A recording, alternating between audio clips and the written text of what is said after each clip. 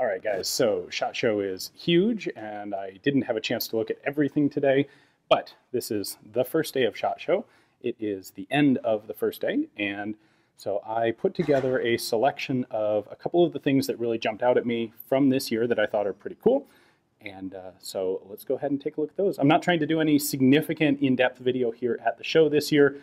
Um, I figure most of the stuff I will get my hands on samples uh, to show you guys in proper good detail once they're actually on the market. So without any further ado, here are the uh, handful of things that really jumped out at me today.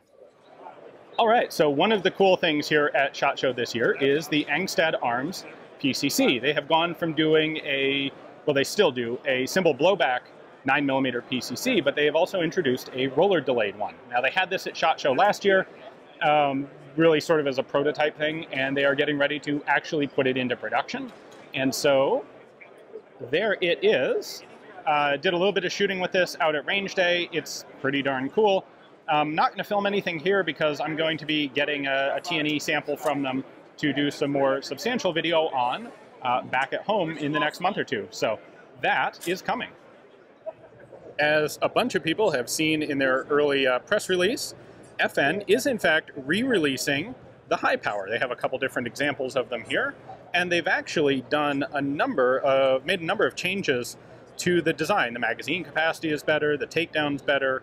Um, there's a lot of new modern machining that has gone into this. So I'm not going to try and cover these right here because I am definitely going to get my grubby hands on one of these to do some proper in-depth video for you guys. We've been saying for a while that a lot of the future of firearms development is not actually the firearms, it's the optics. And Magpul, in collaboration with MazTech, have a really interesting scope that they're showing here. In fact, it's not actually a scope, it is a scope mounting system with a whole bunch of integrated electronics. They're going to do a number of things. Uh, one of them is actually electronically count rounds in magazines and rounds on one's person, which is pretty cool. There, there's sort of all the components.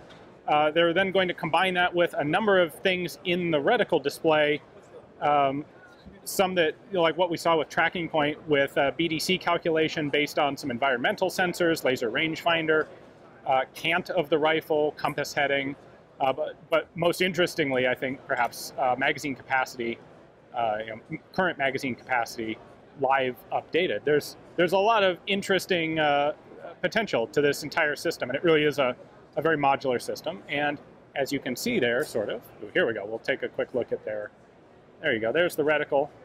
Um, this one is not set up at the moment to show capacity. Anyway, um, this is definitely something I want to get my hands on uh, once they release it, which will probably be in nine months or a year or so, and give you guys uh, some more, an, an interesting look at this when it's ready for market.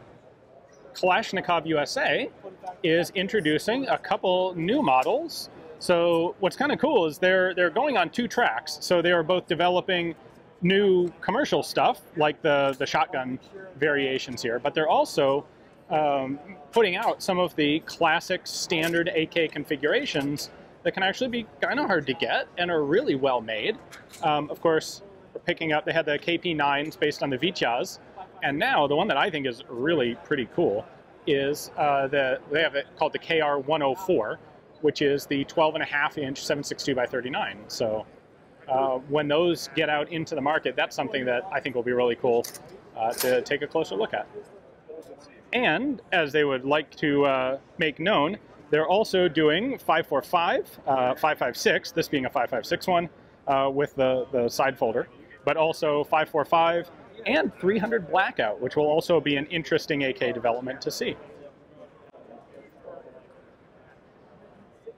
So a couple of years ago, Holosun introduced a completely enclosed pistol optic, uh, their 509, to compete with the Acro uh, from uh, Aimpoint. However, what they have now are a pair of smaller versions, the EWS, which are on the same footprint as the, the little shield red dot sights. So this is the sort of thing that would fit on a gun like a P365. They have two different versions. Uh, one is just a little bit larger than the other, but they're both uh, shield footprint. And that is, uh, I think, a, a, pretty interesting development.